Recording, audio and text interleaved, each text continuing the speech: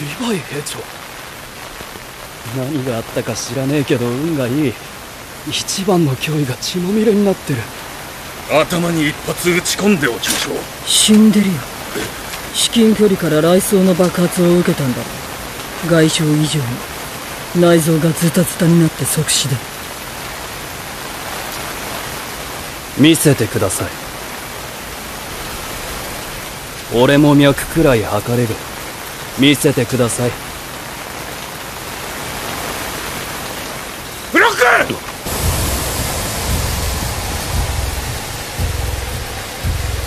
消えている。死んだのか？いや普通蒸気が吸い込まれるように消えたりしない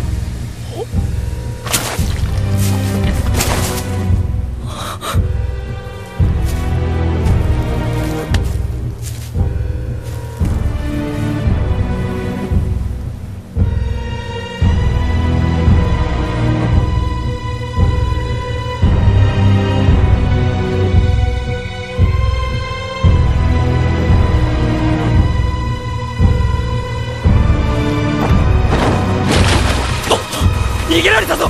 しまった。おい逃がすぞ！ジークさん何があったんですか？わからない。知らない少女が土をこねて俺の体を作った。